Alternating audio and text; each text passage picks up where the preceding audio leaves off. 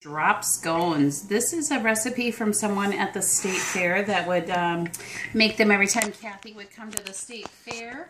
And they are state fair worthy drop scones.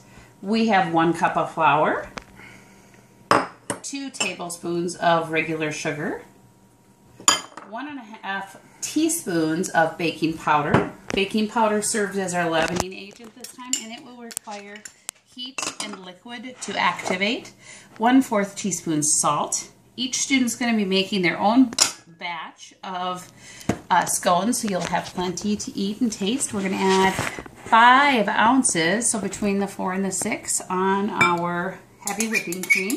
You could use milk, but heavy whipping cream or half and half makes for a creamier, nicer scone. Scones are something typically you eat it with tea or for breakfast, you might want to make a light glaze to go with it like we did for the pretzels. So we're just stirring it. We're trying not to over stir. Just stirring it until it's moist. This is kind of more like a um, strawberry um, short, is it strawberry shortcakes? I'm trying to think of that. Kind of like a, a drop, it is a drop biscuit, drop scone. So quick and easy to make, but definitely something you would eat with tea or coffee. Um, nice afternoon snack after school. Okay, so we're just moist there. We also need to add our one tea or half teaspoon of vanilla. And you know what? I just boo-booed. I should have added my half teaspoon of vanilla in with the heavy cream. So oopsie, but that's okay. Hakuna Matata, Mrs. I always likes to say, I'll spread it around through there. So you should not make my boo-boo and add your half teaspoon of vanilla to your cream. That would get more evenly distributed.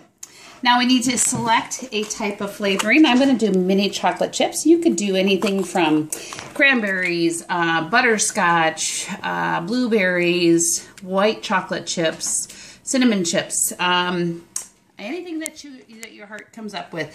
I know that Kathy at the restaurant that she works at, or used to work at, coffee shop I should say, they would make, put a little bit of flavoring like a vanilla extract or something that you often see in coffee shops, you know, for flavoring coffee.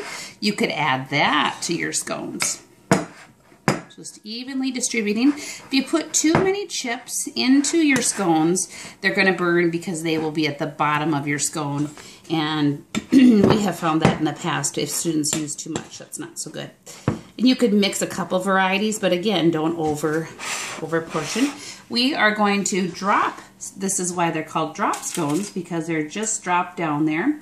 You could also make a scone where you pressed all the material together out flat and then when it comes out you could make it into pie shapes um, like more like a traditional scone you might see bought from a factory. You could do that.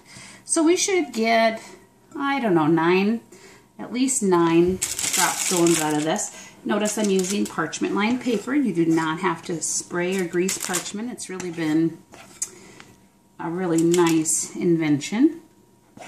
You know bakers everywhere have appreciated this I'm going to finish this up, but we will go for 400 degrees, 10 to 15 minutes. Important to check at 10 minutes. If they need to be longer, great, we can do it longer. You do want to make sure you're checking the bottoms as they're baking because the bottoms are what's going to get darker, and so that's where you're really judging whether they're done or not. We'll show you them as soon as they're done.